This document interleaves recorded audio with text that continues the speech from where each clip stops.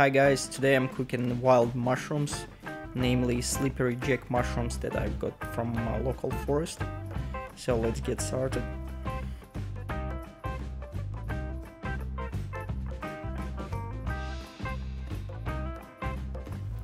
First of all, I'm peeling off the skin of mushrooms and removing the sand and other particles.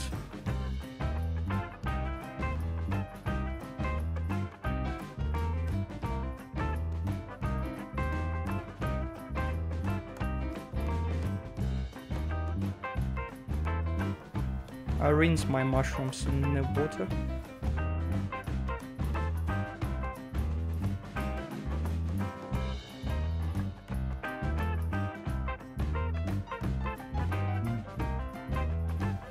Then I boil my mushrooms for 5 minutes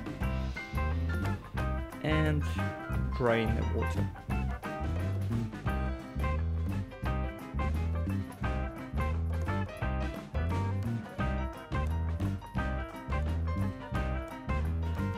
After my mushrooms are cooked, I'm chopping them and frying them with onion.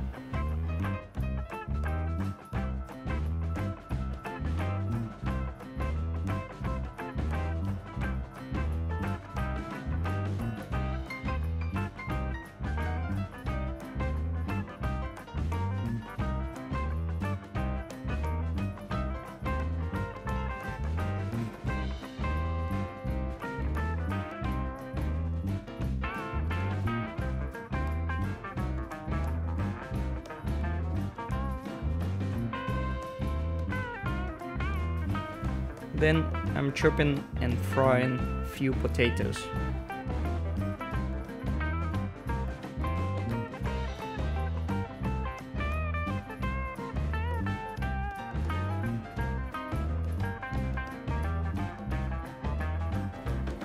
I'm serving fries, mushrooms and onion together and adding sour cream and lettuce.